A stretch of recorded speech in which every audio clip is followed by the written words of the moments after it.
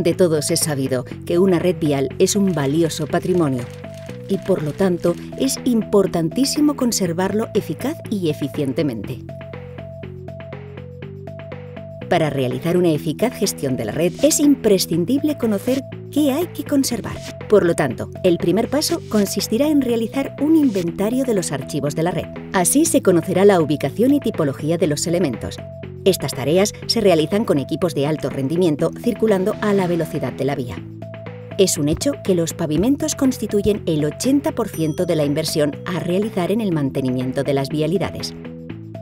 Dada su magnitud, se hace necesario conocer y controlar su composición y estado, aspectos que se corresponden con parámetros estructurales y funcionales. Las características funcionales están ligadas a la superficie de rodadura de los pavimentos, hay dos parámetros funcionales fundamentales. Uno de ellos es la regularidad, que indica el grado de comodidad que percibe el usuario al circular por la vía. Este factor se conoce midiendo el perfil longitudinal. Si esto no es uniforme, se producirán aceleraciones verticales en el vehículo junto con mayores costes de mantenimiento y consumo de los vehículos, así como un aumento en los tiempos de desplazamiento. Otra de las características funcionales es la adherencia entre neumático y pavimento, denominada rozamiento. Los áridos que sobresalen del betún ofrecen el rozamiento que impide el deslizamiento. Con el paso de los vehículos se desgastan dichos áridos, dando lugar a superficies pulidas, pudiendo darse salidas de la vía en curvas y alcances en rectas. Esta característica se mide con equipos que simulan las peores condiciones de rozamiento que se pueden dar, vertiendo agua sobre el pavimento. Además, existen las características estructurales. La capacidad de soporte de los pavimentos se analiza midiendo las deflexiones o deformaciones verticales que se producen con el paso del tráfico pesado mediante equipos que simulan su carga. El estudio de las deflexiones permitirá conocer el grado de fatiga de los materiales. El estado de las capas debe garantizar el paso de las cargas del tráfico durante toda su vida útil. Para poder realizar una buena gestión, es de vital importancia agrupar toda esta información en una base de datos que será el alimento de una herramienta de gestión. La calidad de la información tomada y el aseguramiento de la ubicación a la que corresponde constituyen el fundamento de unos resultados fiables. Además, para poder prever lo que va a suceder en el futuro, es necesario que los datos sean tomados de manera periódica. De lo contrario, no se podrán calibrar los modelos de evolución necesarios para realizar una eficaz gestión preventiva. Es evidente que el mantenimiento de algunos elementos únicamente se puede realizar de manera correctiva porque difícilmente se puede prever su evolución. Pero en algunos casos, se pueden aplicar políticas preventivas que permiten al gestor anticiparse a los problemas. Lamentablemente, en muchos casos, se sigue realizando un mantenimiento correctivo de las redes de carreteras, lo que conlleva numerosas desventajas.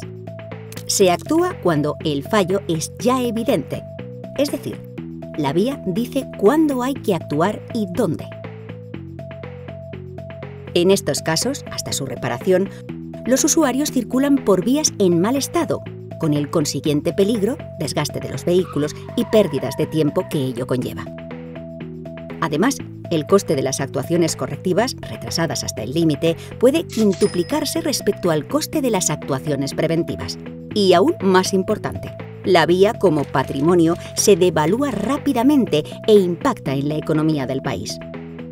Para llevar a cabo una gestión preventiva, es necesario contar con un sistema capaz de almacenar y explotar una gran cantidad de aspectos. La aplicación Ícaro, desarrollada por Grupo Rauros, permite planificar las mediciones o controles periódicos de los elementos, prever las actuaciones de conservación, planificar y optimizar las inversiones con los recursos disponibles, registrar, documentar y valorar los trabajos rutinarios, controlar y analizar el grado de cumplimiento de los indicadores fijados, agilizar la toma de decisiones. En definitiva, Ícaro permite a la Administración o concesión aumentar el nivel de servicio ofrecido a los usuarios y disminuir sus costes.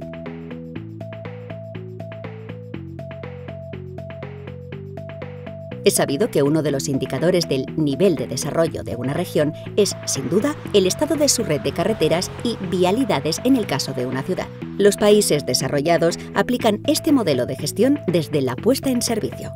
A la vez, las regiones, aún en vías de desarrollo, se incorporan a este modelo en cuanto su capacidad económica permite ocuparse de aspectos no básicos. La gestión preventiva de una red únicamente se puede llevar a cabo una vez alcanzado cierto nivel de calidad. Antes de alcanzar dicho nivel, los sistemas únicamente pueden ayudar a priorizar las actuaciones. Después comenzará la verdadera gestión preventiva.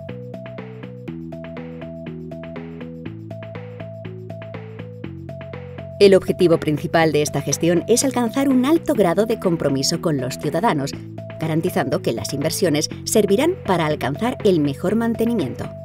Para poder cumplirlo es necesario conocer las posibilidades de inversión en mantenimiento, determinar el grado de calidad que se puede alcanzar con dichas inversiones y definir unos indicadores de calidad adecuados fijando los umbrales que marquen su cumplimiento.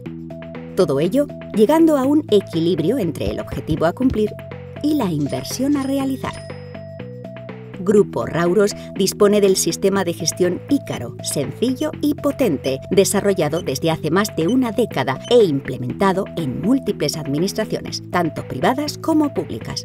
Rauros cuenta además con un equipo rápido y eficaz de técnicos especializados en gestión de conservación que conoce las técnicas, sus fundamentos, el modo de aplicarlos. El sistema Ícaro proporcionará a los gestores un soporte técnico que justifique cuándo, dónde y cuánto hay que invertir en el mantenimiento y además los ciudadanos serán testigos de la mejora de las infraestructuras.